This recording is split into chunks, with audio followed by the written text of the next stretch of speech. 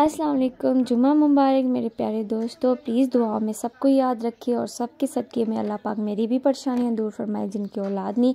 अल्लाह पाक उनको नेक और साल औलाद अता फरमाए। अल्लाह पाक जो बीमार हैं, उनको तंदुरुस्ती अता फरमाए।